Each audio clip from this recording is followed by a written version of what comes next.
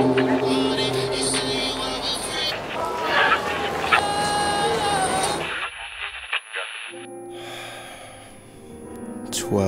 oh one a.m. on the dot. It's now on the clock. I awake on the couch. Ouch. Feels like I've had a smile for quite a while. Or should I say, a grin? Either way, my face aches again. Looks like another one of those days again. 305 comes just in time for me to see you in my thoughts once again. And to myself, I thought, damn, I haven't had any sleep since 12 o'clock.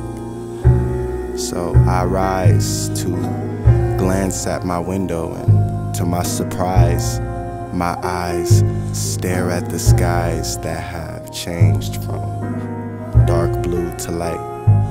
Silly, right? I mean, for me to think staying awake all night is alright. 5:30.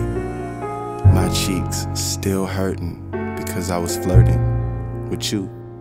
Well, in my head, while the world was in bed, instead I lay awake and stay awake because you couldn't stay away from me. 6:43. It's hot. Sweat drops from my head to my socks. I walk to the bathroom and it's even hotter. Cold water fills the empty wrinkles in my hand dry, now wet.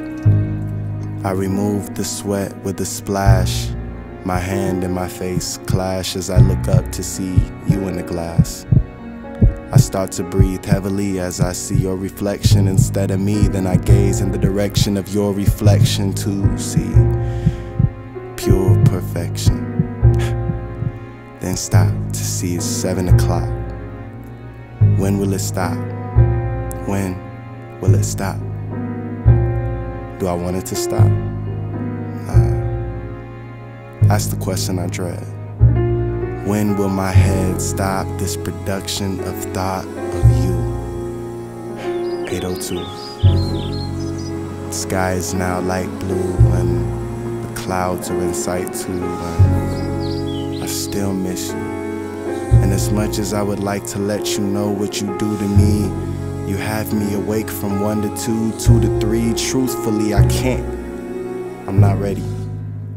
10 o'clock, of course, my brother is playing video games. Grease spraying from the pan of cooking ham, my mom with a book in hand. Other brothers still in bed, dad at work, and I'm in the shower, trying to pretend I slept for at least an hour. Eyes bloodshot red, pain in my head. Out the shower, I see your name spelled neatly on the same mirror. Am I insane?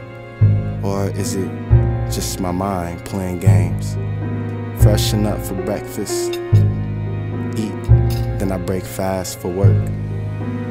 Just a cashier folding shirts. 12 o'clock.